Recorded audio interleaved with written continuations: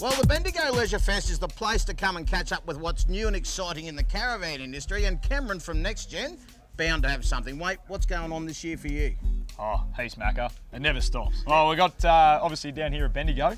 Uh, we've got the van, this 22 AT all-terrain, which we've just released in Yep. bunks.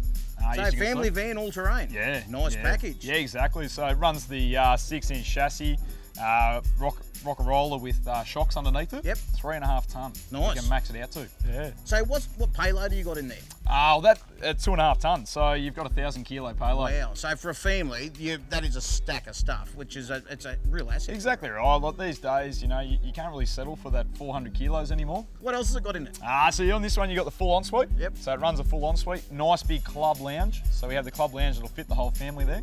We do it in a range of a two or three bunk um, variety. Yep. Six foot one mattress uh, bunks. Yeah, so right. I fit in then lengthwise. Yep. Don't know about the width. but Oh, I fit mate, in them I could probably go sideways on him. I'd still be around. but still having the space of a big six-one mattress and the queen up the front for the uh, you know mum and dad to be up there as well. Yep. Um, all in 22 foot.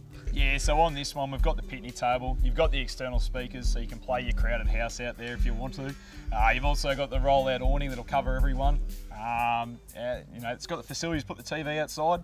So when the grand final comes up or What's Up Down Under's on, Yeah, gonna sit outside and watch it. got to watch your What's Up Down Under, don't miss that. That's right.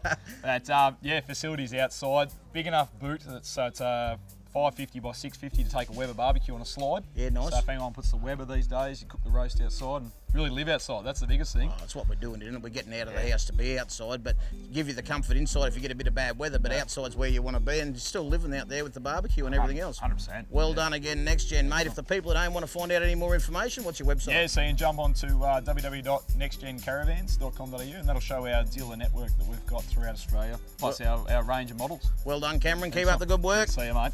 Catch you later, eh?